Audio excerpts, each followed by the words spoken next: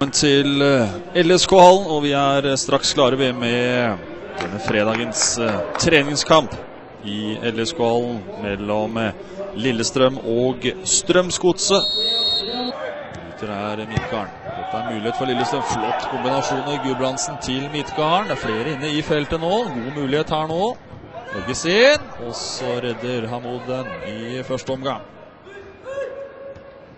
Og så er det dårlig av Diamande. Men eh, blir reddet der av Sanko. Sånne pasninger kan vi ikke slå på egen banehalvdel.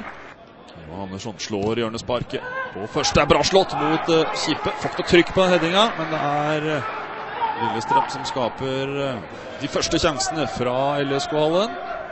Ramon her viser han seg frem offensivt.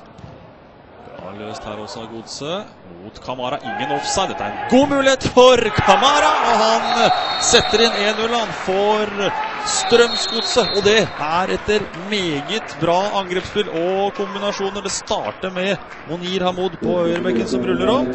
Dytter den videre. Viser elegant småspill her. Og så er det en veldig bra avslutning av Ola Kamara, som var toppskårer i Strømsgodset i fjor. Pedersen. Ja, så er det heldig her. Andersson og vipper over, og så får han vel tilbake. Og her skal det stå 1-1 i LSK-hallen. Er litt heldig der som får den ballen. Prøver på en frekkis som Lars Kramer redder. Han klarer ikke å få dyttet den ut. Den går over han, og der er Andersson og header den inn og gjør 1-1 rett før pause. Etter der skjer veldig bra. Gudbrandsen skulle få en avslutning da.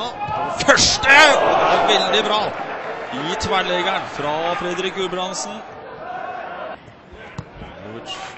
Og gjør dette. Plutselig så kommer Lillestrøm med Gudbrandsen runde. Blir kanskje litt for skrått. Det gjør det også. Dessverre for Lillestrøm. Det er bra angrepsspill. Fanger opp. Se på den pasningen. Fantastisk mot Basse. Bør gå rett på mål her nå. Gjør det.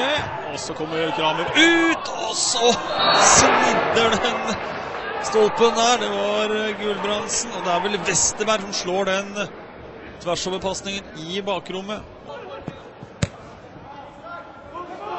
Vikheim har muligheten her til å avgjøre for godset. Oi, oi, oi. Er det mulig fra Kovac, da? Ok, litt vemmelig ball, men den er vel bare å breise inn. Vinket ikke heller linjemannen. Steinar Pedersen har hatt trøbbel på venstrebekken i andre omgang. Andersson, en av de ved frisparket her. Hardt inn. Det er bra slått, og så går i bakken. Ingenting. Ja, den syns jeg er tvilsom. Gulbrandsen